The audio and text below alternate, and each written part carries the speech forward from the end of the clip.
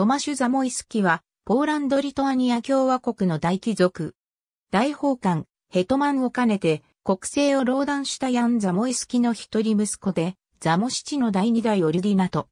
1618年より、ポドレ県知事、1619年より、キエフ県知事、1628年より、クラックフの大官、1635年より、王官僚副大法官を務めた。また国神、ソカル、ノビタルク、ラプシティン、カウシュ、ゴニョンツ、ジェチツェの大官職を帯びた。トマシュは共和国の南東部であるブラツワフ県に広大な所領を有し、幼い頃から東方の文物に親しんでいた。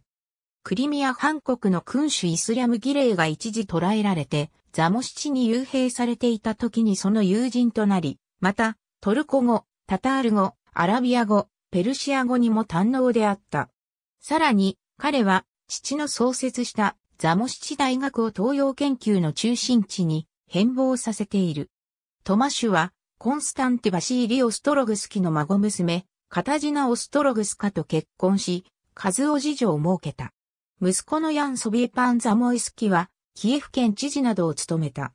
上の娘のグリゼルダ・コンスタンツィアは、イエレミ・ビシニョビエツキ公と結婚し、1669年に国王に選ばれたミハ・コリブト・ビシニョビエツキの母となった。ありがとうございます。